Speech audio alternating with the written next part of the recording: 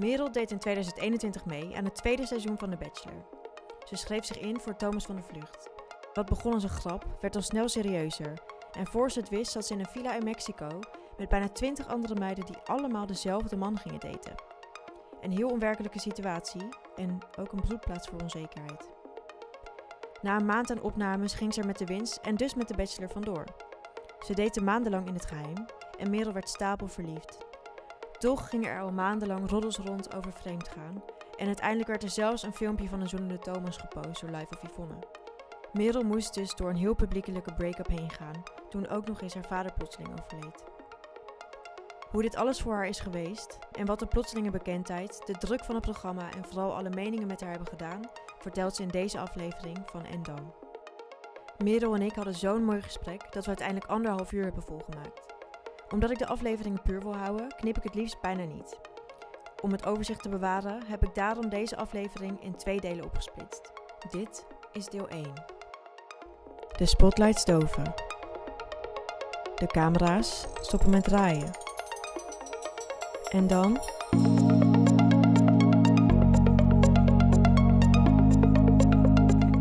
Hallo allemaal en welkom bij een nieuwe aflevering van En dan. De serie waar ik samen met mijn gast ga praten over de mentale nasleep van participeren in reality tv. Ik heb een hele leuke gast naast me. Ze komt vers uit Bali, is nog vies bruin. Naast mij zit Merel Becks. Nou, dankjewel. Welkom. Lief dat ik hier mag zijn. Bedankt Leuk voor je uitnodiging. Ja. En eh, blij dat het allemaal is gelukt uiteindelijk, want je was lekker op reis. Ja. En ehm, ja, ik ben heel erg benieuwd naar jouw verhaal. En ik denk heel veel andere mensen ook. Dus laten we gelijk beginnen, zou ik zeggen. Ik heb een mooie presentatie voor jou gemaakt. Spannend. Daar ben je. Oh ja. Jouw persfoto. Ik vind die persfoto zo lelijk. Oh, echt iedereen zegt het Oh. over zijn persfoto. Ja, maar ik weet nog heel goed dit moment. We gingen dus die foto's maken. En eh, dat was dus eh, de dag nadat je ehm, ja, de eerste aanloop hebt gehad. Dus je hebt de ontmoeting gehad met Thomas. Ja, En de dag erna ga je pas de persfoto's maken. Dus het is ook niet de outfit die je aan hebt op de eerste dag dat je aankomt. Het is echt de eerste rozenceremonie outfit. Oh, oké, ja. En dan word je dus ook gemake-upt. En Oh, je wordt, moet je zelf je make-up doen? nou, we moeten eigenlijk de hele tijd zelf ons make-up doen. Maar behalve voor de eerste dagen word je dus geholpen met je make-up. Eh, ik was echt een soort van gepoederd. En ik weet niet, ja, ik heb nooit zoveel make-up op. Ik heb eigenlijk alleen maar, ja, tenminste mensen zeggen dan tegen mij... oh, je hebt altijd vet veel make-up op, omdat ik eyeliner op heb. Maar het enige wat ik Ja. vaak op heb is eyeliner en mascara. Mm. Maar verder heb ik nooit dingen op mijn huid. En ik voelde me op dat moment zo'n, ja, gewoon poederdoos. Ik dacht echt, wat zit er op mijn hoofd? Ik herkende mezelf ook gewoon helemaal Ja. niet. En dan heb je ook allemaal, ik heb voor nooit oogschaduw op en dat soort dingen. En dan ga je dus die foto maken en het was echt klik, klik, klik, klik, klik. Nou, ze klikken misschien 15 keer en je vraagt van mag ik die foto's kijken? Maar je mag die foto's dus ook niet kijken. Ook niet. Nee, dus je mag niet kijken van hey, ehm, weet je, andere pose of zo. Eh, dus ik zat echt een beetje van ja, wat, weet je wel, wat moet ik doen? Ik, ik ben het niet gewend. En toen kwam deze eruit en toen heb ik dus gezegd tegen hun, dat is ook heel leuk. Ik zei, ik had eigenlijk een andere. Toen zei ik, ik vind mijn persfoto zo lelijk, ik wil deze niet. En toen zeiden ze, oké, nou ja, zij wisten natuurlijk al dat ik had gewonnen. Ja. Dus ze zeiden, oké, we gaan je de andere foto's sturen. En toen mocht ik dus zelf kiezen uit die Oh, foto's. maar anders dat- had dat niet gemogen. niemand mocht dat, alleen ik mocht dat. Oh. Dus ze zeiden ook van, eh, ja, je mag dat niet doorvertellen. En ik zat echt zo, nee, dat doe ik ook niet. En here she is, telling the juice. Telling it. Nee, Ja. maar ja, ik vond die foto zo lelijk. En ik zat echt tegen iedereen, nee jongens, kijk naar deze foto. Het is gewoon, dit is toch niet hoe ik er echt uitzie? En iedereen zo, ja, het is niet je beste foto. En ik zat echt zo, kak, kak, kak. Ja. Maar ja. ja, ik snap het. Ik vind hem wel beeldig, maar ik snap wel wat je bedoelt, want je ziet er wel anders uit. ja. We gaan even naar de periode voor jouw deelname. Ik ben eh, naar je Instagram toe gegaan en even gescrolld. Kijk wat ik kon vinden. Eh, wat de meeste mensen denk wel weten dat jij uh, tandarts in opleiding was toen Ja. jij eh, meedeed. Eh, kun je mij eens vertellen, wat voor meisje was je voor je deelname? Hoe zag je leven eruit? Nou, ik was dus aan het studeren, eh, inderdaad, voor eh, ja, mijn laatste masterjaren eh tandheelkunde. En ehm, dat, ja, dat is eigenlijk gewoon een heel standaard leven, als het ware. Je gaat gewoon, nou, in principe vier, vijf dagen per week naar de universiteit. Je behandelt patiënten, je leert voor je tentamens. En daarnaast eh, pak je in de weekenden natuurlijk hele leuke feestjes. Ja. Ehm, en ik denk in mijn bachelorjaren was ik wel echt, dus niet de bachelor, maar Ja. mijn bachelorjaren, eh, was ik wel echt heel veel aan het feesten. Want zat ik ook bij een studentenvereniging. Mm. Dus eh, ja, dan ga je alleen maar uit. En dat, dat combineren met je studie is best wel veel werk. Ehm, en in de jaren daarna ben ik echt wel wat volwassener geworden en ook serieuzer geworden in mijn eh, werk en wat ik wil. Maar ik ben wel echt iemand die altijd heel open is. Dus ik ben wel iemand, ja, ik kan echt dansen op de tafel en mezelf helemaal voor schut zetten. Maar ik kan voor het ook weer heel eh, stil zijn als ik me niet zo op mijn gemak voel bij mensen. Ja. Ehm, en zo was ik ook heel erg voor het programma. Dus ja, ik, ik had nooit verwacht eigenlijk dat, ik- dat ik mee zou doen ook aan zo'n programma. Daar, Nee? daar ga je. Nee, want ik voelde me heel. Het klinkt heel raar, maar gewoon heel normaal. Ik was gewoon net zoals iedereen om mij heen, gewoon een student die volle bak genoot van het studentenleven. En ja, dan ga je op een gegeven moment afstuderen en dan ga je werken. En dat is ook hoe ik het voor me zag natuurlijk. En dat is nu wel echt een beetje anders gegaan. ja. Want hoe was jouw mentale gesteldheid voor je deelname? Ja, goed. Gewoon, ja, alles ging goed? Ja, alles ging goed. Ik had echt alles op een rijtje. Dus het was voor het eerst ook dat ik echt dacht, nou, ik, eh, ik ga lekker. Ik ben alles goed aan het doen. Ja. Ja. maar het klinkt heel raar, want ik bedoel, ik heb echt wel momenten gehad dat ik ook niet zo lekker in mijn vel zat. Maar op dat moment zat ik gewoon echt heel goed in mijn vel. En eh, ja, in mijn, eh, na mijn bachelor heb ik eh, een tussenjaar gedaan. En toen ben ik heel veel gaan reizen. Dus ben ik naar New York geweest, drie maanden voor au pair. Ja, heb ik vrijwilligerswerk gedaan in Indonesië, vrijwilligerswerk gedaan Oh, in. Afrika.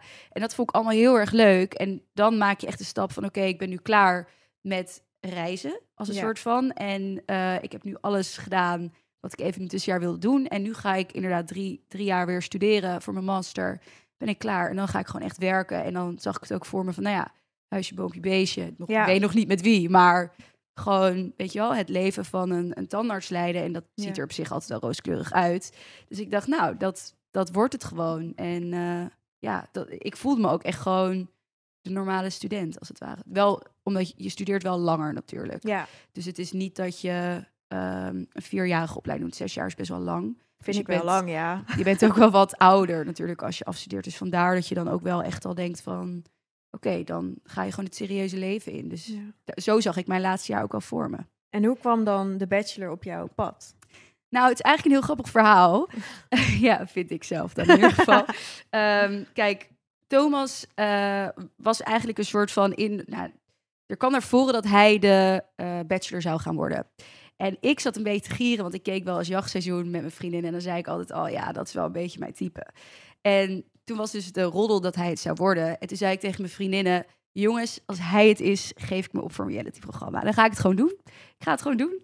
En toen zaten mijn vriendinnen echt van, ja, we spreken jou later wel, maar je gaat het dus sowieso doen. Dus ik zat echt, nou, hij is het sowieso niet. En toen kwam er dus naar voren dat hij het was.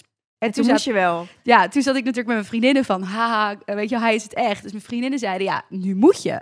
Weet je wel, je gaat je nu opgeven. Maar ja, dan ben je natuurlijk toch een beetje, ik was een beetje te poesie. Dat ik dacht, nou, dat ga ik niet doen. Want je moet ook een enorme vragenlijst invullen. Oh ja? Het is niet, ja, het is niet even dat je denkt, oh, ik meld me aan, hier heb je twee foto's. Nee, je moet allemaal vragen over jezelf invullen. Zoals wat voor vragen dan? Ja, hoe is je persoonlijk, eh, hoe is je persoonlijkheid? Eh, wat vind je de leukste dingen om te doen? Eh, waar haal jij je plezier, nou ja, waar haal je plezier uit? Echt van dat soort stomme vragen. Oh, en de, de leukste vraag was ook, want ik heb dus de vragenlijst echt heel vervelend ingevuld. ja, het is echt, ik ben echt een beetje kinderachtig geweest hoor. Maar de vraag was bijvoorbeeld, wat is jouw passie? Ja. En ik heb gewoon letterlijk opgeschreven tandheelkunde, punt. Maar gewoon P-U-N-T. Gewoon niks. Ik heb gewoon niet uitgebreid iets ingevuld. Ik heb gewoon echt overal, weet je wel, gewoon een beetje van die domme antwoorden opgegeven van, weet je wel, wat is jouw type? En dan zei ik gewoon, ja, iemand met humor, knap. Maar waarom deed je dat dan? Was het omdat je het niet serieus nam? Of dat Nou- je dacht, zo val ik op? Nee, dat was het dus niet. Ik zat dus op het terras met een vriendinnetje en die zei, oké, je moet dus, je moet het nu gewoon doen. En toen zei ik, oké, als ik het ga doen, is dit wel het moment. Want, nou, een paar biertjes op, ik denk, let's go. Ehm, en daardoor is het dan ook een beetje dat je dat geinig gaat invullen. Dus op een gegeven moment stond er ook van, eh, wat vinden je vrienden van jou? Dus ik gaf gewoon mijn telefoon zo op aan mijn vriendinnetje. Ik zeg, vul maar in. Ik hoef het niet eens te lezen, doe maar. Dus qua, op die manier ging het een beetje dat ik dacht, oh, het is een beetje bedoeld als grapje, maar je vindt het ook wel leuk, maar je gaat er niet van uit dat Maar je... hoopte je het wel? Ja, kijk, ik vond hem wel gewoon heel aantrekkelijk. En ik dacht wel echt van, jij bent wel echt iemand voor mij. En ik, weet je wel, zou wel, als ik hem zou tegenkomen in de kroeg, was ik sowieso een beetje zo kijken van, oeh. Ja. Ehm, dus ik dacht, nou, dat is leuk. Maar je verwacht gewoon op dat moment niet dat, dat je dan ook wordt uitgekozen. Want Nee. Kijk, eh, ik ben best wel zelfverzekerd, maar ik weet dat er heel veel knappe meisjes zijn. Eh, en dan denk je wel echt van ja, zij gaan ook mensen vragen voor het programma. Je weet niet wat voor knappe meiden zich aanmelden. Dus je gaat er ook niet helemaal van uit dat je denkt, ik ga hiervoor gekozen worden. Ja. Maar dat En- gebeurde wel. En hoe ging dat dan? Want je hebt het dan ingeleverd en duurde het dan heel lang voordat je reactie had? Nee, ja, ik was twee dagen later. Twee dagen gebeld. later al? Ja, dus ehm, ik was gebeld. Volgens mij, ik weet niet eens of het één of twee dagen was. Volgens mij was het twee dagen daarna. Stond ik op het hockeyveld en ik kreeg eh, een belletje. Maar ik ging echt letterlijk mijn wedstrijd in. Dus ik had mijn telefoon weggelegd. Toen dacht ik, Mhm. nou, wat is dat? En nou, voicemail heb ik niet afgeluisterd, want ik was bezig met andere dingen. Eh, en de dag erna eh, had ik precies pauze en ik had mijn telefoon in mijn hand. En als iemand mij belt en ik heb mijn telefoon in mijn hand, neem ik eigenlijk altijd direct op. Ik weet niet wat dat is, maar dat, dat doe ik altijd direct. Goed. En eh, toen was het, hi, je spreekt met het programma The Bachelor. Dus ik zat echt zo... eh, en ze zei, "He- heb je tijd? En ik liep echt vol tegen een kastje aan. en ze zei echt van, liet je nou iets vallen? En ik zat echt zo, Mezelf. Nee, nee, ik zei, nee, nee, nee, ik liep tegen iets aan. En toen ging ik dus met haar bellen. En toen zei ze, ja, ik wil je wat vragen eh, stellen. En eventueel dan uitnodigen voor, nou ja, niet een casting, maar een videocall. Hmm. Ehm, dus dat gedaan. Aan het einde van het gesprek zei ze, nou kan je videocall doen. Dus ik zei, nou, is goed. Eh, dus een paar dagen later, volgens mij twee dagen later, had ik die videocall. En dan zit je dus echt voor je scherm met, eh, met Zoom, eh, zit je dat, dat belletje te doen. Was je daar zenuwachtig voor? Ja, toen was ik wel echt nerveus. Ja. En hoe was dat dan, dat belletje? Wat vroegen ze toen? Ja, heel veel, heel veel dezelfde vragen. Dus ook Mm. al wat er allemaal in die vragenlijst stond. Dus heel erg van hoe ben jij en hoe zie jij het voor je om met zoveel meiden in een villa te zitten ook. Eh, hoe ben jij in groepen? Ja, waar val je op? Ja. Hoe, weet je wel, wat zijn de types mannen waar je altijd op valt? Hoe ben jij in een relatie? Eigenlijk heel van dat soort vragen. Een beetje, nou ja, niet datingsvragen, maar gewoon wel van persoonlijkheid. Want ik denk ook wel dat ze op die basis ook wel kijken naar Ja. meiden van... hey, hoe val jij in een groep? Ja, Dus ze willen natuurlijk ook een leuke samenstelling van meiden. Dat besefte ik echt wel op dat moment. Ehm, dat ze willen niet allemaal dezelfde type meisjes. Ze willen natuurlijk allemaal net iemand die iets anders is. ja. En dat waren ze toen al een beetje aan het uitzoeken. Oké. En toen? En dan ga je dus naar die castingdag en dan kom je daar. Je wordt helemaal een soort van geleid door mensen van je mag niemand tegenkomen. En op de Oh. castingdag ga je dus ook, moet ik het goed zeggen, ga je dus ook praten volgens mij met de psycholoog. Ja, dat was mijn volgende vraag Ja. inderdaad. Ik weet wel dat op de castingdag in ieder geval word je dus echt in een donker kamertje gezet. Eh, met zo'n camera, camera's op je hoofd. Hm. Dat, dat, dat je echt zo je lippen aan het likken bent van... oh, ik ben nerveus en Ja, allemaal lampen op je. En dit is de eerste keer dat je zoiets doet. ja. En je wordt er echt zo uitgeleid van... ja, weet je wel, overal is er iemand bij je. Je mag nooit alleen zijn. Ehm, dus het was echt puur casting, foto van je gemaakt, dat soort dingen. Die foto's werden ook gebruikt op zo'n call sheet in het programma uiteindelijk. Dus dit was echt, je moet even beseffen dat dit een foto Een is die, van smoelenboek achter. ja, die dan zo, weet je wel, zo even snel van je wordt gemaakt. Ja, Dus ja. niet dat je denkt, oh, mooie camera. Maar gewoon even zo wordt er een foto van je gemaakt. En die werd dus uitgeprint op zo'n soort van geplastificeerd ding. En het was no joke. Hier ga je echt seconde. Als er meis- meiden uitgingen, zetten ze gewoon kruisen door de hoofden heen. En wij zagen dat. En wij zaten Oh. echt van... het is echt alsof er mensen dood zijn gewoon. Als ze afgevallen. Ja, maar dat was dus Op echt zo. Dus wij zaten echt zo...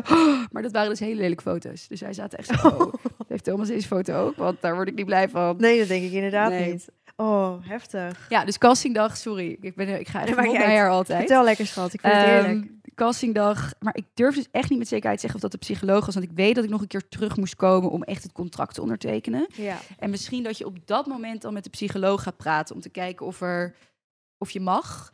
Eh, maar ja, het gesprekje met de psycholoog sloeg natuurlijk nergens op. Nee, wat bedoel- voor vragen werden er dan gesteld? Eh, ja, hoe, hoe voel je?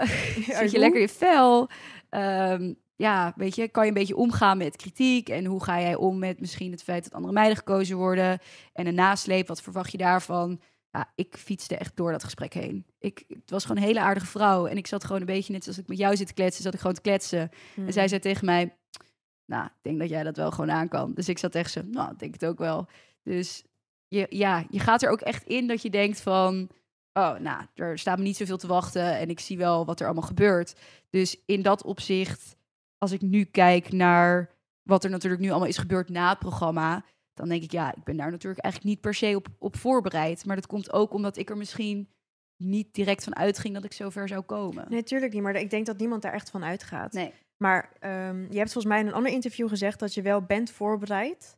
op een bepaalde manier? Hoe, nou ja, dat is dus dan? dat gesprek Dat met is de het enige psycholoog. wat je hebt ja, dus het enige gesprekje wat... Nou, dat is niet waar. We hebben dus gesprek gehad met de psycholoog. Die zei van, nou, er komt natuurlijk wel wat bij kijken. Als je ver komt, dan kan je, eh, weet je wel, een following krijgen. Mensen die jou willen volgen. Maar ja, op dat moment ben ik daar dus niet mee bezig. Dus ik denk alleen maar, oh, nou ja, prima. eh, ik zie het allemaal wel. Ik moet eerst maar even dat programma eh, doen. Want Ja. dat is het natuurlijk ook. Hè. Het programma is niet tegelijkertijd met alle aandacht. Dus je Ja. denkt van, oh, daar ben ik nog niet op Nog ver van je bedshow. ben ik nog niet mee bezig. En eh, dan heb je ook met de producer, de eindproducer, heb je dan een gesprek mee. En die zegt dan ook van, hey, kijk even naar de meiden van vorig jaar. Dit en dit en dit is zo een beetje gegaan. Ja, weet je wel, wat vind je daarvan? En toen zat ik echt van, ja, ik, bedoel, eh, ik hoop dat ik niet zo afgewezen word op eh, nationale televisie. Dat Ja. zei ik, maar ik zat er gewoon een beetje grapjes over te maken. En ja, je, ik ging er gewoon echt niet van uit. Dus je, je bent gewoon totaal niet bezig met die impact. En wat ik eigenlijk vind, is dat het moment dat die opnames klaar zijn, dan moeten ze weer een moment nemen met de psycholoog en zeggen: hey, hoe heb jij nu alles ervaren? Ja. Eh, wat verwacht jij van wat er gaat komen? En wat voor steun wil jij hebben? ja.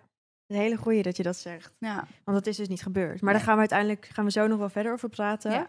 Ik ben wel benieuwd. Ik denk dat we nu wel een duidelijk beeld hebben van hoe het van tevoren gaat. Ja.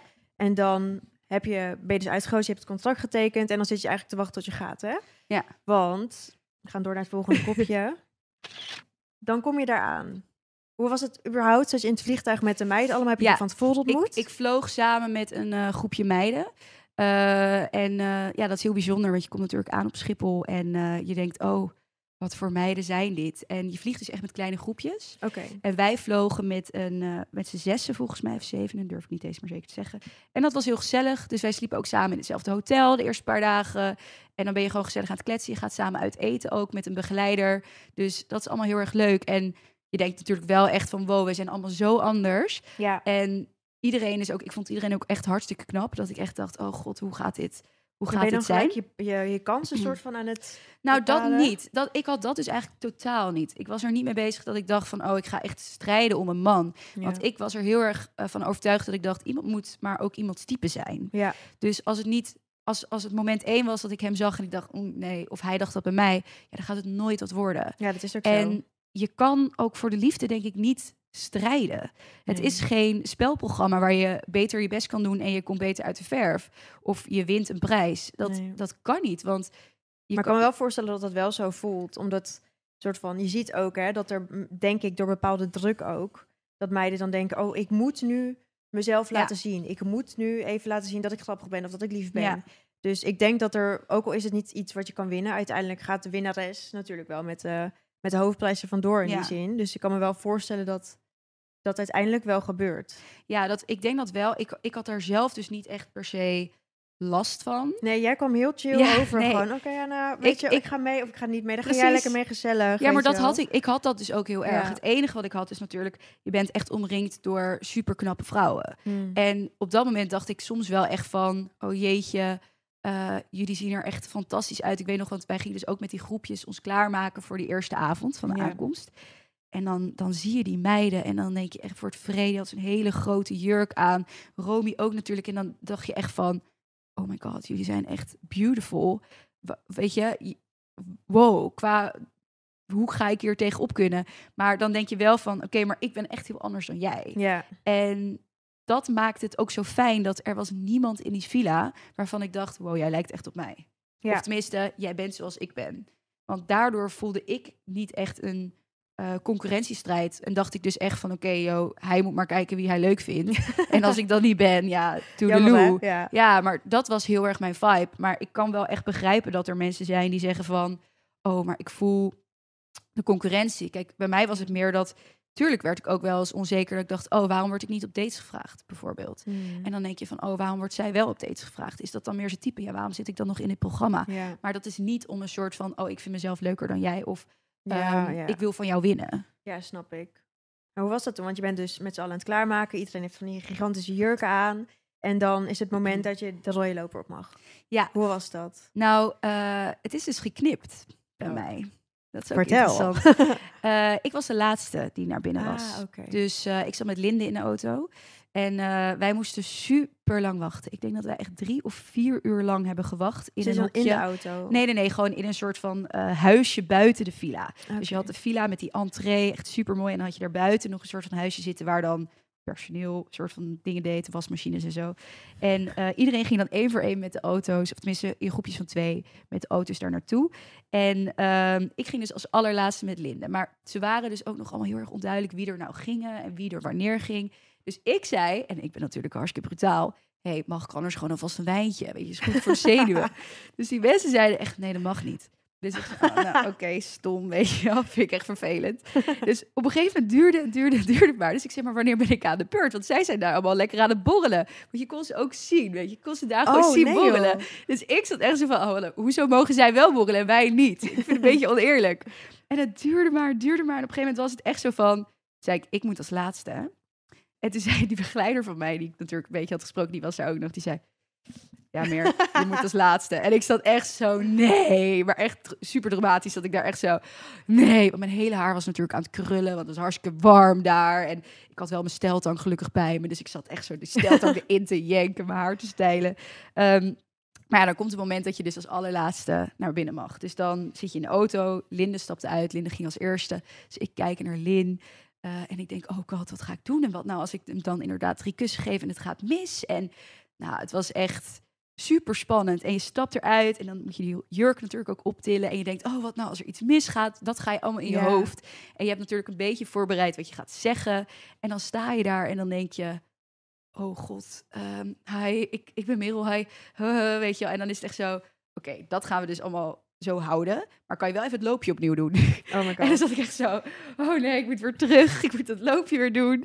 En dan ben je natuurlijk al helemaal aan het trillen. En ik moest voor dat eh gebitje, moest Oh ook, ja, dat had je inderdaad. ja, moest ik nog een keer geven. Maar mijn handen waren echt zo. Dus normaal heb ik gewoon best wel steady handen. Maar mijn handen waren helemaal aan het shaken. En ik zat echt, oké, nou hier Maar wat dacht je toen je hem zag? Ja, ik dacht wel, je bent echt een lekker ding. Ja. Maar hij was volgens mij echt een beetje uitgeblust al bij mij.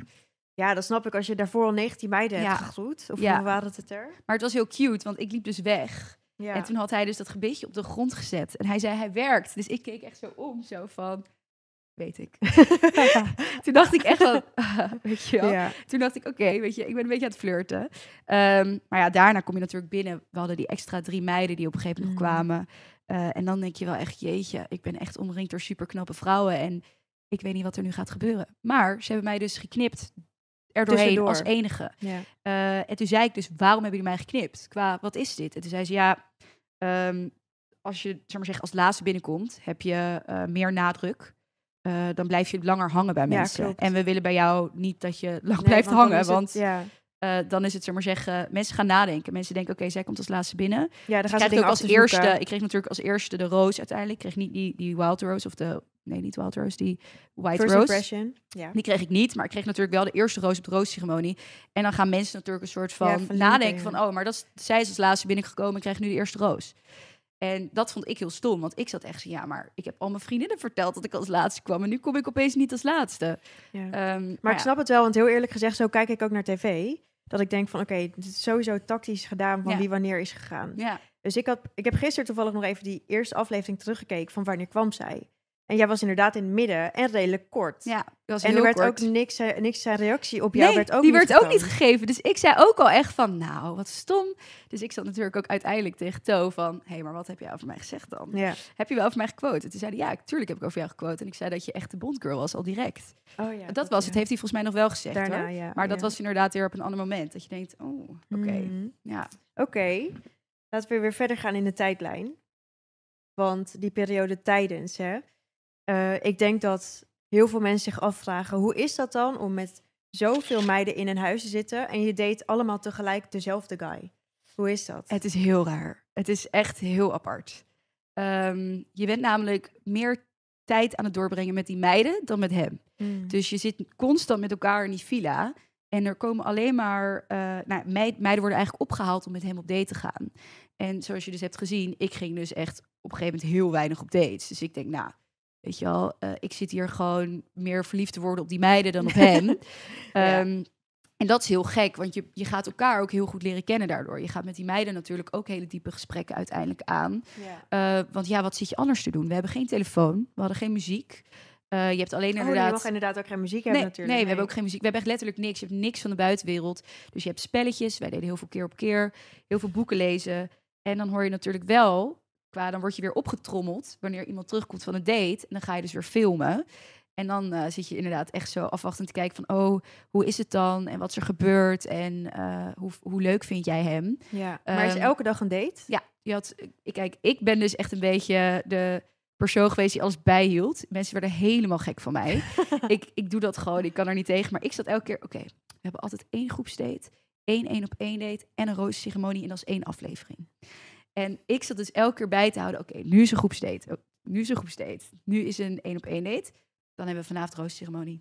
En die meiden die hadden allemaal een beetje zoiets van, hoezo hou jij dit bij? En ik zei, ja, maar dan weet ik waar ik me op kan ik voorbereiden. ben, ja. Ik vind dat heel fijn. Dus ik zat er de hele tijd, oké, we zitten nu in aflevering 5.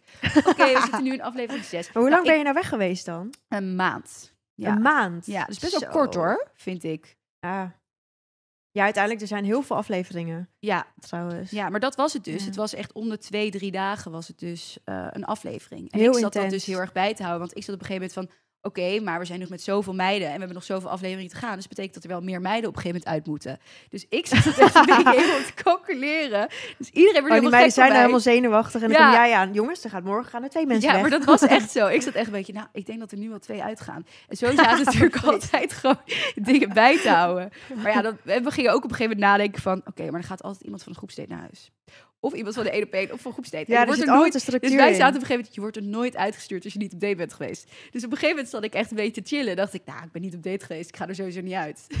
Want Ja. ik zat echt zo van, er moet iets gebeuren voordat je eruit wordt Ja, er moet een verhaallijn zijn. Want ik kijk nu dus ook eh, met mijn vriend, die is hier dan achter. Dus ik zeg tegen hem, van ik denk dat die eruit gaat. Want er is een verhaallijn gebouwd om die Precies, persoon. maar zo zaten wij dus Ja. ook.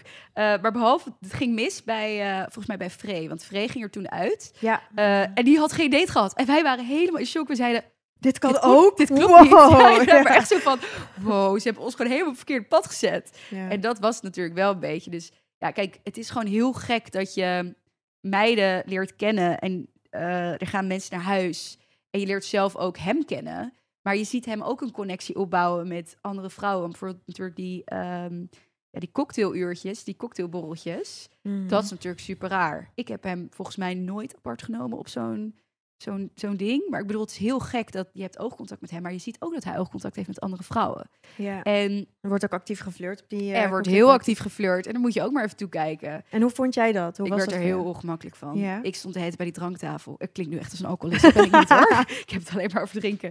Eh, nee, maar wij, je had, zullen we maar zeggen, zo'n eet- en dranktafeltje. Daar stond ik eigenlijk alleen maar. Dus ik was altijd voor iedereen cocktails aan het maken. Dat was een beetje mijn, eh, mijn ding. Dat, Jouw taak. dat was echt mijn taak. Dus ik stond daar gewoon een beetje cocktails te maken voor iedereen. Een beetje drinken, een beetje eten. En eh, ik dacht, ik zie het allemaal wel. Ja. Want ja, ik, het, is, het is gewoon een beetje ongemakkelijk. Ja, ik ga in een kroeg ook niet naast iemand staan als iemand met iemand aan het flirten is. Ik, ik word daar, ja, zeker als je zelf die gast ook wil, dan, dan krijg je dus inderdaad het idee dat mensen zichzelf gaan eh, meer gaan laten zien. Om te laten zien van, kijk, ik ben er ook. En Vond je dat dan irritant als die andere meiden dat deden? Of, Nou- of zeg maar aan het einde, denk ik dan meer? nou, ik vond het niet per se irritant. Ehm, maar het is wel het is gewoon niet prettig als je, zou maar zeggen, in een gesprek zit en iemand komt er tussendoor om even een verhaal te doen. Ja. Kijk, dat is nooit leuk. Ik denk dat bij je vrienden is het, kan je het, weet je, dan vind je het niet erg als mensen dat doen, want dan denk je, oké, ga maar Jij even je bent verhaal het, vertellen, jij bent. Maar met mensen die je niet zo goed kent of, of nee, je wil indruk op iemand maken en dat iemand je dan zo afkapt, dat is natuurlijk niet per se heel leuk. En dat ja, is gewoon niet heel fijn, denk ik. En zeker ook als je weet als er allemaal camera's op je staan. ja. Want eerst ben je natuurlijk op een gegeven moment echt een vriendschap aan het opbouwen. Hè? Ja. En naarmate er steeds meer meiden naar huis gaan, wordt het denk ik wel echt een wedstrijd. Dat Ja. je dan dus echt alle, alle minuten lijken te tellen. Toch? Ja, nou ja, ik had dus, ik had zelf echt die wedstrijd-vibe wat minder. Ja. Maar tuurlijk, ik had dus ook wel. Kijk, ik was ook onzeker. Ik had bijvoorbeeld op een gegeven moment een van de meiden die zei tegen mij: Ja, maar meer, hij gaat echt niet voor jou kiezen. Want jij bent echt de Amsterdams voor hem. En toen zat ik echt: Sorry, wat? Ik, ik vond het heel aardig hoor dat ze het in mijn face zei. Maar ik dacht wel echt van: Ja, maar jij bent helemaal niet op. Ik had toen al met hem gekust. Toen Hmm. dacht ik: Ik ben de enige die met hem heeft gekust. En jij gaat me nu vertellen dat ik het sowieso niet ben.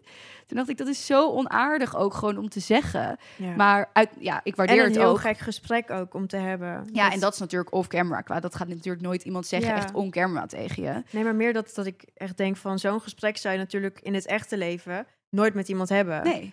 Nee, maar kijk, we zijn samen met deze gast, allebei verliefd op hem, maar hij gaat niet voor jou kiezen, want... Dat is een heel gekke situatie nee, eigenlijk. Nee, en dat, het was ook nog niet zo ver. Het was niet iemand die, ik maar zeggen, echt verliefd op hem was of zo. Maar Nee. dan denk ik, en dan was het wel van, nou, ik denk sowieso dat het die persoon gaat worden. Of die persoon, want ja, die zijn echt allebei zo knap. En toen dacht ik echt van, kijk, ik vind ze ook heel knap, maar hiermee, ja, indirect beledig je mij hiermee Ja. wel mee, weet je wel. Want dan denk ik van, oké, maar dankjewel dat je mij minder knap vindt, weet je. Ook Ja. you, you, weet je. Jij moet zelf ook vinden wat je, wat je jezelf knap vindt. Maar het is gewoon niet heel aardig om ook te zeggen, Nee. want het draait ook niet alleen maar om knapheid. Je moet ook qua innerlijk echt met iemand matchen.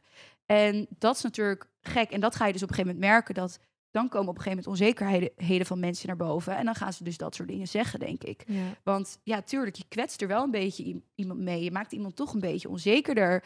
Ik werd ook onzekerder ervan. Ik dacht ook van, oké, ja, eh, Ja. ben jij de enige die dat vindt? Ehm, want ik heb het heel leuk met hem en mijn vibe voel ik heel erg met hem. Maar jullie zijn daar niet bij, die weten dat niet. Maar dan is het natuurlijk niet leuk als mensen zeggen, ja, maar jij past sowieso niet bij hem. Dan denk ik, ja, maar wat heb jij nou gezien? Ja. En dan daarna natuurlijk, als de uitzendingen er zijn, oh ja, nu zie ik het echt wel eigenlijk vanaf Ja. het begin. En dan denk ik, ja, maar schat, je bent er niet bij geweest. Dus Nee. natuurlijk heb je het niet gezien. Nee. Maar hoe vaak heb jij hem dan in die maand gezien? Ehm, Want je bouwt, je bouwt in die korte tijd dan heel erg Band op. intense ja, band op. Maar Ja. dat ook dus met andere meiden. ja, Maar hoe vaak zie je hem dan? nou, niet zoveel. Alleen op dates. En, hoe dus, vaak was dat eh, ongeveer? Nou ja, ik ging dus niet... Ik ben een paar afleveringen niet op date geweest, volgens mij. Maar ik denk, je ziet elkaar sowieso met de, de cocktail... eh, Maar dat is ook niet heel lang, toch? Nee, nee. En dan praat je ook niet per se heel erg met elkaar, maar je praat wel een beetje natuurlijk ook in groepjes. Dus alles wat wordt uitgezonden eh, is natuurlijk niet alles. Er is gewoon wel, dus dat, dat borreluurtje duurt gewoon langer. Eh, dus er zijn daar wel gesprekjes. Je hebt sowieso een gesprekje met een groepje met hem. En nou, daar vond ik het sowieso al heel fijn om even gewoon, weet je wel, te kletsen, even elkaar aan te kijken. Ik ben echt een oogcontactpersoon. Ja. Dat, dan kijk je iemand aan en denk je, oké, van we viben nog, weet je, we zitten nog op Ja, hetzelfde Een level. soort van check van zijn we check. nog oké? Maar dat is echt een soort van check was dat Hmm. voor mij. Ehm, maar verder, ja, de dates. Dus eh, ik heb een paar groepsdates natuurlijk gehad. Ik ging toen gelijk op de eerste groepsdate, volgens mij. Eh, toen gingen we naar die night market. Hmm. En ehm, daarna had ik natuurlijk weer een groepsdate eh, dat we gingen zwemmen. En dan we natuurlijk die dates met z'n allen. Je hebt heel vaak ook een date met z'n allen. Ehm, en dan zie je elkaar ook, dan spreek je elkaar ook even. Dus je ziet elkaar sowieso wel, denk ik, om de dag, om de twee dagen. Maar niet heel intens. En Echt wanneer, wanneer kreeg je gevoelens? ja, gevoelens. eh, w- Weet niet of ik- ja, dat kreeg ik denk ik echt bij, ja, misschien echt bij een van de laatste afleveringen pas echt gevoelens. Maar ik begon hem echt heel leuk te vinden toen ik die één op één date met hem had. Ik weet nog wel dat bijvoorbeeld op het strand zat ik op een gegeven moment met hem met een groepsdate en toen dacht ik, oh, wij matchen eigenlijk echt wel goed. En dat je dan denkt, oeh, ik krijg wel een vibe bij jou of ik Mhm. merk dat het fijn is. Ehm, en daarna, toen kreeg ik natuurlijk die één op één date. En toen zat ik wel echt op de bank dat ik dacht, oeh, ik vind jou wel heel aantrekkelijk en heel leuk. En ik, ja, weet je, ik vind jou wel echt heel leuk. Maar gevoelens was denk ik echt pas, ook toen ik met hem heb gezoend, had ik nog geen gevoelens voor hem. Ik denk dat gevoelens echt pas een beetje zijn gekomen bij die echt final date. Dat je denkt, oeh, nu heb ik wel echt, echt gewoon gevoelens Ja. voor je. ja. Hoe was dat trouwens, die final date, omdat je dan echt nog met z'n tweetjes over bent? Nou, hier heb ik dus ook een heel leuk verhaal over. Ik ben heel benieuwd, meid, vertel. Ehm, nou, we hadden die eh, final date. Maureen ging natuurlijk eerst op date, dus ik ging als tweede. Ik had een fantastische avond in die villa met de mensen die daar nog waren. Ik was echt de last woman standing in die villa. ja. En dat is heel bijzonder, heel leuk. Dus ik was helemaal niet gestrest. Ik denk, fantastische avond, lekker genieten in Mexico, wijntjes drinken. Weer, zie je, ik alles gaat over fijn. Maar het was heel gezellig. Spelletjes doen, eh, pizza eten. Het was echt fantastisch. Dus de volgende dag ging ik naar die eh, date en wij gingen natuurlijk zwemmen. En ik had het met zijn eh, plus ja, een soort van persoonlijke begeleider. ja. Had ik het een beetje over van, hey, eh, wil jij mij niet eens even vertellen eh, wat er allemaal is gebeurd gisteren? Dus eh, zei, nee, dan moet je zelf aan hem vragen. En ik zeg, dat ga ik niet doen, want dat moet dan op camera. Dus ik wil gewoon dat jij mij dit vertelt. En hij zei, meer, dat ga ik niet doen. Dus ik zat echt zo, vervelend. wel. nou, toen gingen we zwemmen, was heel leuk natuurlijk. Nee, het zoenen in het water en het was Mm. gewoon echt super mooi. Toen werden we weer uit elkaar gehaald en moesten we weer drie uur in de auto naar een andere locatie. Dus naar dat eh kasteel soort huis. Eh, en ik zat echt zo, nou, dit is een 24 uur date. Ik moet toch gewoon met hem dan in die auto kunnen zitten. En toen zei ze, nee, want dan gaan jullie verder kletsen. En alles wat je Moet qua gesprekken met hem moet hebben, moet gefilmd worden. Ja. Dus dat is niet zoals met die meiden, maar met hem is echt alles wordt gefilmd. Ehm, dus wij komen aan, gaan terug. Eh, nou, na drie uur komen we aan bij dat huis. Mhm. En ehm, nou, dan doe je weer zo'n loopje. Weet je, dat je samen wandelt, uit die auto stapt. Weet je wel, helemaal nep dus natuurlijk, want je hebt helemaal niet samen in die auto gezeten. Maar je stapt dus in die auto, je stapt die auto uit. We zijn klaar met filmen. En hij wil wat foto's laten zien. Hij opent zijn telefoon. Zijn er dus foto's in bed met Maureen. Maar niet, zullen we maar zeggen, eh, naakt of zo. Gewoon, gewoon gezellig. Gewoon Ja, ja. op een normale manier. Dus ik sta daar echt zo van. Ja. En op dat moment komt iemand van de productie die zegt: Merel, je mag plassen. Dus ik ren, maar echt, ik storm weg. En ik tegen die productie, eh, eh, mevrouw, zei ik echt van ja, ik, ik weet niet wat ik moet. Ik zei, ik kan nu die, ik kan die date niet meer serieus ingaan, als het ware. Ik ben helemaal flabbergasted. Weet je wel, ik, ik weet niet meer wat ik moet. Ja. En zij zei nou meer relaxed, eh relax, kom goed. Straks gewoon weer lekker jezelf zijn. Ga jezelf maar even omkleden eh, en klaarmaken. En ik zei ja, ik, ik, ik weet ik, ik ben helemaal gewoon van me apropos.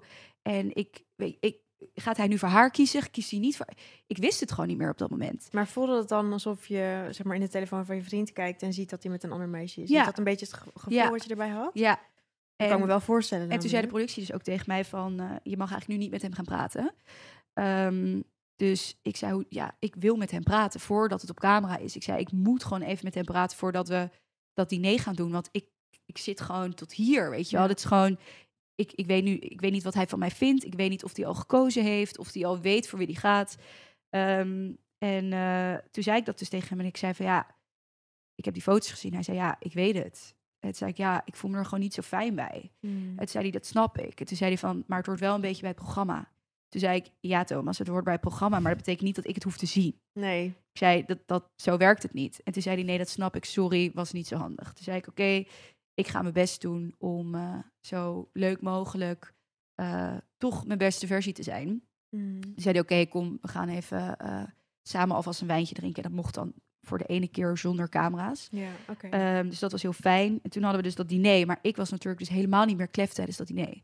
Dus als je goed kijkt naar die aflevering, ben ik heel afstandelijk. Ik ben heel voorzichtig, omdat ik gewoon denk van ja, straks kies je gewoon niet voor mij. Dus mijn hele vibe is heel anders dan aan het begin van de date. Had je daarvoor dus wel echt het gevoel van hij gaat voor mij Ja. kiezen? 100%. Heftig hoor. Ja, en dus dat is echt een emotionele rollercoaster waar je doorheen gaat. Ja. Dus de dag erna word je natuurlijk gelijk uit elkaar gehaald. Heb je de finale. Dus dat was de dag na mijn date. Ja. En ik was mezelf helemaal gek aan het maken. Ja. En op dat moment heb je niet een psycholoog, dus Nee, want was er ondertussen een psycholoog waar je mee kon praten? Dus eh, we hadden tijdens het programma een eh, psycholoog, Mhm. eh, Barbara, echt een hele, hele lieve schat, ehm, met wie je kon praten. Maar je kon het dan aanvragen, maar dat gebeurde eigenlijk niet zoveel. Dus wij zagen haar alleen met de rozenceremonie. En dan ging zij praten of mee met de mensen die afvielen. Maar ik heb haar volgens mij wel een paar keer gesproken. Tenminste, ik heb haar een paar keer gesproken.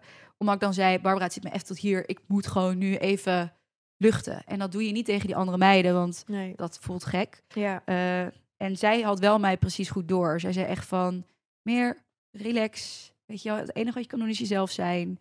En je moet niet vooruit gaan denken. Je moet niet gaan denken dit en dit en dit en dit kan er allemaal gebeuren. Want daar moet je niet mee bezig zijn. Dus het was heel fijn om haar te spreken. Maar dat was dus altijd tijdens de rozenceremonie. En maar echt vijf minuten, als je het zelf wilde.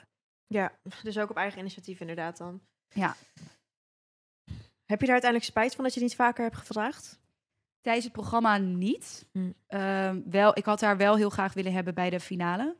Daar was ze Ehm, niet. Nee, daar heb ik haar niet kunnen spreken. Toen zat ik met eh, iemand anders van de productie, fantastische man, eh, opgesloten in een kamertje. Ehm, maar dat is niet hetzelfde. Want je wil eigenlijk dan echt iemand hebben die jou wel even kan kalmeren. En ik was zo gestrest.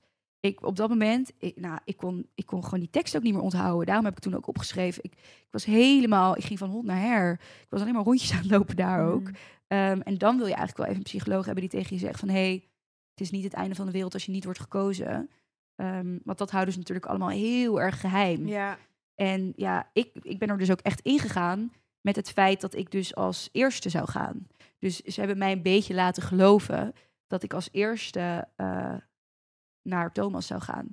En als je als eerste gaat, betekent dat dat je wordt afgewezen. Tenminste, dat had ik natuurlijk zo uitgewerkt in mijn hoofd. Dus ik was ervan overtuigd, ik ga nu afgewezen worden. Dus daarom zie je mijn hoofd ook echt van... Kom maar.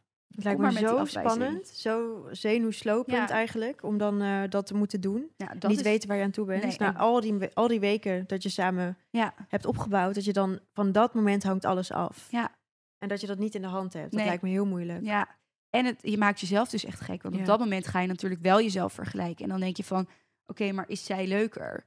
Is zij leuker dan, dan dat ik ben? Terwijl ik ben er het hele programma niet mee bezig geweest. Maar op dat moment denk je wel echt van... Oh, maar of past het beter bij hem? Of valt hij meer hierop? Of eh, weet je wel, is, is, ben ik het hele programma... Is het niks geweest met mij? Is het alleen maar voor de show geweest? Of je, alles gaat door je hoofd heen. En dat is echt... Nou, dat vond ik echt terror. Ja, dat, was echt niet leuk. Maar je bent het wel geworden. Ja, En wat gebeurde er toen, toen je dat hoorde? ongeloof. ik geloofde het eerst niet. Ik dacht echt van, waar is het addertje? Komt er nog iets? Ehm, maar daarna keek dat in. eh, en ik was heel blij. Ja, ik vond hem echt heel, heel, heel erg leuk. Ja. Ja, En toen? Toen Nou, was het programma voorbij. ja, En toen gingen jullie eigenlijk afwachten, hè? Totdat, eh, ja, totdat eh, het online kwam, totdat Ja. het gezien werd. ja. En jullie moesten in het geheim blijven daten. Ja. Hoe lang heeft dat geduurd? Eh, wij zijn teruggekomen dus begin december. En de eerste uitzendingen waren half... 14 februari was de eerste uitzending. Oh ja, Ja. tuurlijk. Ja, dus eh, ja, bijna 2,5 maand was dat sowieso. En toen moest je nog steeds in het geheim verder daten, Ja. totdat het laatste Ja, eh, uitgezonden was natuurlijk. Dat ook natuurlijk. En eh ja, 2,5 maand waren, die eerste 2,5 maand waren eigenlijk best wel makkelijk. Want toen wist, nou ja, mensen wisten niet per se dat ik meedeed aan de Bachelor. Met, er ging natuurlijk een beetje geruchten rond, rondom mijn vrienden. Van Mm. zou ze dat gedaan hebben? Maar mensen vergeten dat weer. Dus de eerste maand dat ik terug was, december, was het een beetje van... Oh ja, misschien heeft ze dat gedaan. Maar daarna, mensen waren het weer een beetje vergeten. Dus dat was allemaal prima. Ik ben ook met hem toen op vakantie geweest, inderdaad. Meerdere keren weg geweest. En dat was geen probleem, want ik kon gewoon tegen mijn vriendinnen zeggen... Ja, ik ga naar mijn vader of ik ga, weet je wel, eh, dit en dit doen met mijn andere vriendinnen. Of ik ga een weekendje weg met eh, vriendinnen van studie, weet je. Dus je kon er heel makkelijk omheen lullen. Eh, en mijn vriendinnen geloofden dat ook allemaal. Dus dat was Dus allemaal er was niemand die het wist? Nou, je, jawel, natuurlijk mijn vriendinnetje die was gekomen, wist het. Ja. Mijn vader had me opgehaald van het vliegveld toen ik terugkwam, dus die wist het ook. Mijn broertje wist het niet, die hebben echt heel goed... oh joh. ja, daar hebben we echt helemaal een soort van omheen gepland dat hij het echt niet wist. Ehm tenminste, hij wist wel dat ik meedeed, moet ik zeggen, maar hij wist niet dat ik had gewonnen. Dus mijn vader had daar heel goed over gelogen tegen hem. Ja. Eh, en dat was echt allemaal heel cute. En mijn huisgenootjes eh, zijn er natuurlijk op een gegeven moment achter gekomen. Want ja, op een gegeven moment is hij bij mij. Want je gaat ook niet alleen maar naar hem toe. Eh, en die hebben het ook allemaal heel goed voor zich gehouden. Dus ja. dat, je kan er ook niet niet uitgelekt dat jullie waren. Nee, er waren wel op een gegeven moment roddels dat wij samen op vakantie waren gezien. Mm. Maar er waren ook eh roddels dat hij met eh Maureen was gespot op windsport. Dus dat ging ja. gelukkig een beetje zo van, oké, maakt niet uit. Eh, dus daar was het echt nul problemen over. En toen begon natuurlijk de eerste aflevering. Dan weet je natuurlijk, nu moeten we gaan oppassen. En Ja. dan kan je elkaar ook wel echt wel minder zien als dan voorheen. Want dan maakt het niet uit. Dan kon hij elke dag naar Amsterdam of ik kon heel vaak naar hem. En niemand die het door had. Maar ja, toen natuurlijk echt de aflevering kwam, was het van, hé, hey, nu moeten we gaan opletten. Maar toen werd het uitgezonden, want je hebt natuurlijk die periode daarvoor net allemaal beschreven. Ja. Maar er komt nog een hele lading bovenop op het moment dat je dus jezelf terug gaat zien. Je Ja. weet dat heel Nederland meekijkt. Hoe was dat? Ja, dat, eh, dat heb ik dus als best wel nog pittig ervaren. Hey jongens, bedankt voor het kijken naar deel 1 van het interview met Merel. Morgen komt het tweede deel online, dus abonneer je vast op mijn kanaal zodat je niks mist. In deel 2 vertelt Merel over het date in het geheim, de roddels en de reden van de breuk, de plotselinge bekendheid met bijbehorende meningen on- en offline en wat de invloed hiervan is geweest op haar mentale gesteldheid. Ook vertelt ze hoe het nu met haar gaat en op welke bijzondere manier ze de verwerking van de dood van haar vader voor zich ziet. Als je dit een interessant interview vond, gooi dan je duimpje omhoog. Stel ook alle vragen die je nog hebt hieronder en volg ons op Instagram, @merelbex en @delosilo om op de hoogte te blijven. Dankjewel. Bye!